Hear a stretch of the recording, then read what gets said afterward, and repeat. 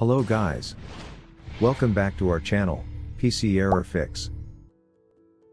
Today in this video we are going to explore how to fix ePSXe black screen problem on Windows 10. Here find out the solutions.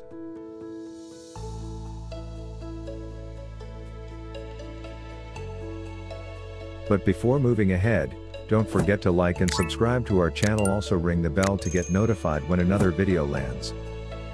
The ePSXe emulator is the best PS video gaming console emulator developed by the ePSXe software.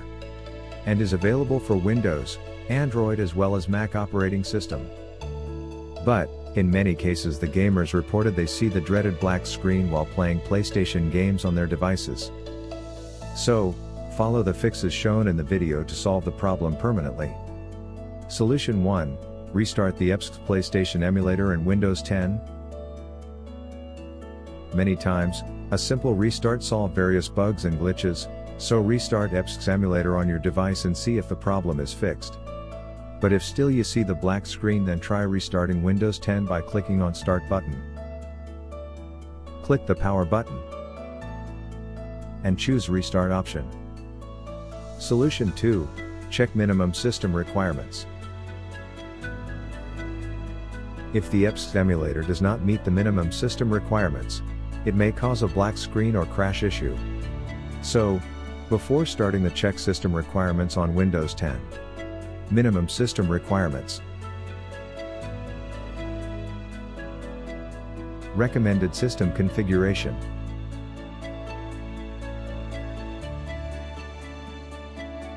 If everything seems fine then try the next solution. Solution 3, turn on the CPU overclocking option. Overclocking is the process in which, you can increase the performance of the application or a game, so follow the steps to turn on CPU overclocking option. Click on the ePSXe to open it. Click Options menu. Look for the CPU overclocking option, then select the Select 1X from the drop-down menu. Now run the ePSXe PlayStation emulator and check black screen issue is resolved or not. Solution 4, change screen resolution high to low. You can fix the screen resolution from high to low by adjusting the screen resolution from high to low. Click on the Windows Start button. Then click Settings option. Go to System menu. And open the Display settings. Over there, find the Display Resolution option. And right-click on it. We'll get a drop-down menu here. If the screen resolution is high then set the resolution according to you, or you can make it low for better performance. Then click on Keep Changes button. Now your PC will run with the new resolution. Solution 5, Modify ePSXe emulator configurations,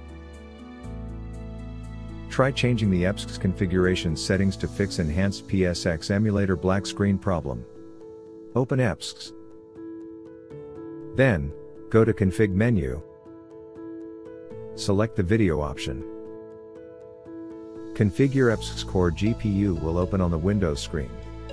Next, find the default settings. And then click on the Nice button. After that, click on the OK button. In the File menu, click on the Gamelist option. Here you can see the list of the game that you are installing on your PC. Now, select the game and click on the OK button. That's it we hope the fixes tried in this video works for you. Let me know in the comment section below, if the fixes directed works for you. Also do like and subscribe to our channel. Thanks for watching.